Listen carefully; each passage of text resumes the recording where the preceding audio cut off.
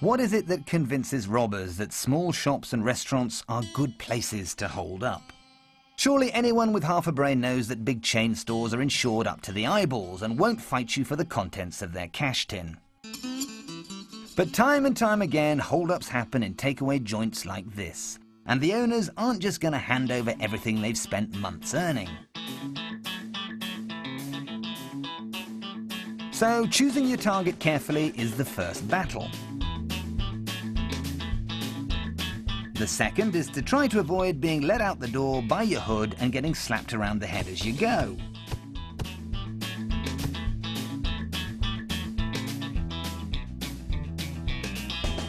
Bailing out of your robbery so easily will leave you in this situation, which we see in every small restaurant and corner shop robbery. This is the moment where the owner is standing outside the front of his shop trying to decide whether to return victorious to his counter or to chase you down the road and finish off the pummeling he started. It's a tough choice.